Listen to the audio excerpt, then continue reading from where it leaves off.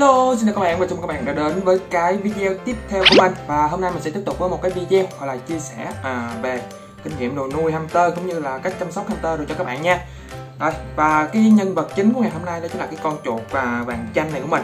Con này là con cái nha các bạn. Đấy. Rồi và hôm nay mình à, sẽ muốn chia sẻ cho các bạn về cái à, cách mà các bạn có thể nhổ răng cho mấy con chuột này ham mấy con chuột hamster nha các bạn. Thì à, nói nhổ răng thì không hẳn là nhổ răng nha các bạn mà chỉ gọi là cắt cái răng của nó, cho răng của nó ngắn lại bớt thôi. Vì như cái, như phần lớn các bạn đã biết rồi đó, thì răng của hamster nó luôn mọc dài ra. Và nếu như mà nó mọc dài quá thì nó sẽ ảnh hưởng đến việc ăn uống, cũng như là có thể là ảnh hưởng đến tính mạng của con chuột của các bạn luôn. Vì thế là hôm nay mình muốn chia sẻ cho các bạn cái cách mà các bạn có thể cắt cái răng của nó ngắn lại bớt để cho nó, gọi là, đảm bảo về sức khỏe của nó, cũng như là đảm bảo về việc ăn uống của những cái con chuột này nha thì à, như mà mình à, nghiên cứu trên mạng nào đó thì thì mình thấy á, là răng của những cái loài chuột hoặc là những cái loài sóc loài ngậm nhấm nào đó thì răng của nó sẽ gắn liền với cái xương hàm nó luôn nha các bạn. Đấy chứ không phải như là răng của con người. Răng con người thì nó không có gắn liền với cái xương hàm vì thế là nó không có mọc dài ra nữa mà nó chỉ mọc đến một cái uh, kích thước cố định thôi. Còn răng của mấy loài cẩm nhấm này thì nó luôn luôn mọc dài ra trong cái suốt cái quãng đời mà nó sống thì nó luôn luôn mọc dài ra.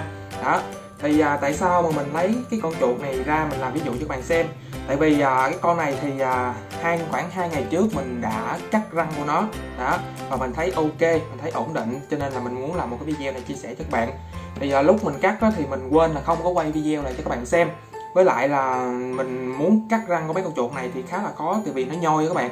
Khá là khó vì thế là mình không có thể quay được. Và hôm nay mình chia sẻ cho các bạn cho các bạn có thể gọi là cắt răng mấy con chuột nếu như con chuột của nhà bạn mà nó răng của nó bị dài quá thì à, các bạn hãy nên là thường xuyên kiểm tra răng của mấy con chuột này nha. Để thôi nó dài quá thì à, sẽ không được tốt cho lắm. Rồi thì chắc chắn có bao nhiêu bạn thắc mắc á, là răng nó dài thì chúng ta có thể sử dụng những cái à, loại thức ăn hoặc là mài răng chuyên dụng cho những cái con chuột này đúng không? Đây ví dụ như là mài răng san hô hoặc là những số mài răng khác hoặc là bánh mài răng. Đây bánh mày răng đó thì à, hiện tại hai món này bên mình có bán các bạn nào mua thì à, liên hệ vào fanpage mình sẽ để dưới phần mô tả nha. Sẽ tiện quảng cáo luôn. Thì cái này là 13 ngàn một giây như thế này nha. Cái này là sang hô.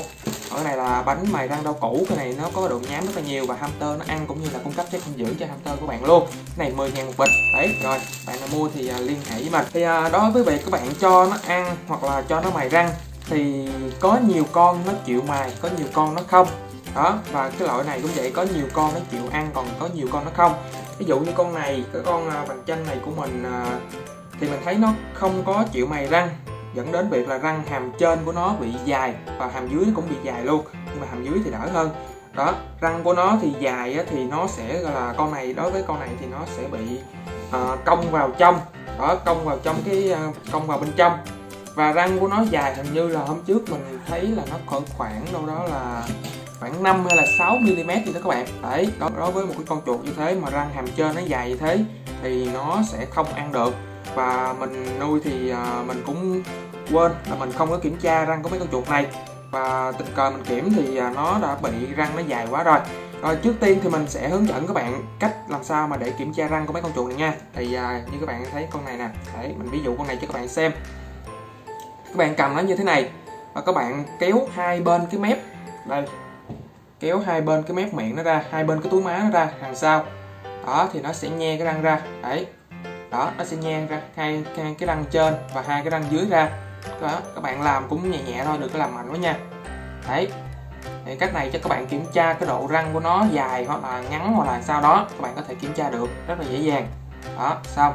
Rồi và sau khi kiểm tra thì các bạn nếu như mà đối với những cái con hamster nhỏ như thế này thì cái răng trên răng trên của nó dài à, từ 2 đến 3 mm các bạn 2 đến 3 mm và cái à, số này mình tính là theo mm nha chứ không phải là cm nha các bạn. Đó cái độ mm nó rất là nhỏ các bạn à, có thể xem, lưu ý xem lại nha. Thì khoảng 2 đến 3 mm là bừa là đối với cái hàm răng trên nha. Còn hai cái cây hàm răng dưới của nó thì nó dài khoảng là 4 đến 5 mm là vừa đó còn nếu như mà nó hút nhiều quá cỡ khoảng như là 6 đến 7 đó, mm thì các bạn hãy cắt răng của nó bớt. Đấy cho nó vừa thôi. Và các bạn lưu ý là cái này là mình tính là từ phần nú à, từ cái răng ở dưới phần nú á à, cho đến cái đỉnh răng luôn nha. Rồi và nếu răng của nó hút cái đó hút cái mức đó quá thì các bạn hãy cắt răng của nó bớt. À quên nữa. Còn đối với răng của mấy cái con uh, hamster bia á, thì nó sẽ dài hơn nha răng của mấy con hamster bia thì à, hiện tại mình không có nuôi bia mình chưa có tìm ra một con bia nào hết cho nên là mình chỉ nhắm chừng thôi nha chứ không chính xác hoàn toàn các bạn. Thì cái hàm răng trên là khoảng 3 mm là vừa đó. Còn à, hai hai cái cây hàm răng dưới thì nó khoảng 6 đến 7 mm là vừa đấy. Còn nếu như mà nó hút cái mức đó quá à, hút khoảng đâu đó là 2 đến 3 mm thì các bạn nên cắt đi đấy cắt bớt đi để cho con con chuột của bạn nó ăn dễ dàng cũng như là đảm bảo sức khỏe của mấy con chuột của bạn nha rồi và bây giờ mình sẽ uh, hướng dẫn các bạn cách mà các bạn có thể cắt được cái răng của hamster. Rồi các bạn lưu ý là cắt chứ không phải nhổ nha. Nhổ là coi như các bạn con chuột của bạn nó đi luôn đấy rồi bây giờ mình sẽ chuẩn bị dụng cụ. Dụng cụ thì cũng rất là đơn giản thôi các bạn. Rồi và dụng cụ mà để các bạn có thể nhổ răng của mấy con chuột hamster thì cũng rất là đơn giản thôi. Đây là cái kìm mà hôm trước mình nhổ răng cho cái con chuột uh, chanh này của mình. Đây là cái kìm uh, cắt móng tay cắt móng chân gì đó. Và theo mình nghĩ là các bạn nên mua cái kìm này đấy cái kìm này thì giá cũng rẻ thôi. Thì à, vì sao?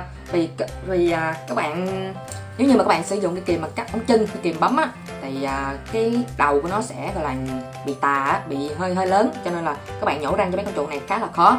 Thì à, các bạn nên mua cái kìm mà cái đầu nhọn như thế này. Đấy đầu nhọn như thế này. Ở đây nó có một hai cái miếng à, hai cái đầu cắt nè.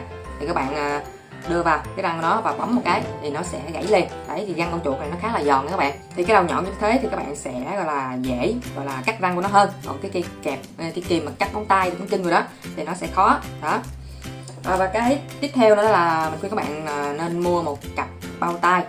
Khuyên các bạn nên mua một cặp bao tay bao tay y tế. Các bạn có thể ra tiệm thuốc tây để mà mua nha.